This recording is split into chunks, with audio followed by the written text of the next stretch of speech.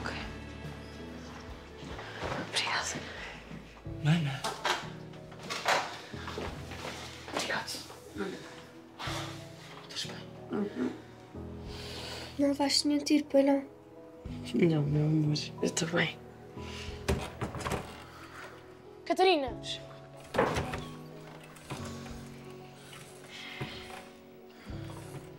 Tive tanto medo que te acontecesse o que aconteceu ao pai. Estás mesmo fixe? Sim. Então, juro. Bem, vai rir. Olha, acabei de ver os nojentos das torres.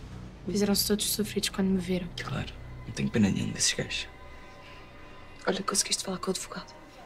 Já, mas ele diz que não tem novidades nenhumas do caso da mãe. Nenhumas. Então, Zé, tem que ter, pai, eu vou-lhe ligar. Não, não podes. Agora tens que ir para casa descansar. A Marta tem razão. E também já temos o vídeo. Mostrar ao juiz e pronto. Está lá tudo o que é que eles precisam mais.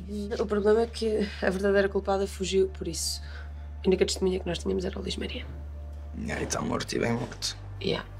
Então podíamos não conseguir tirar a mãe da prisão. Não, porque para isso era preciso que nós desistíssemos. E nós não vamos desistir. Tive tanto medo de morrer, Simone. Eu amo-te muito. Agora também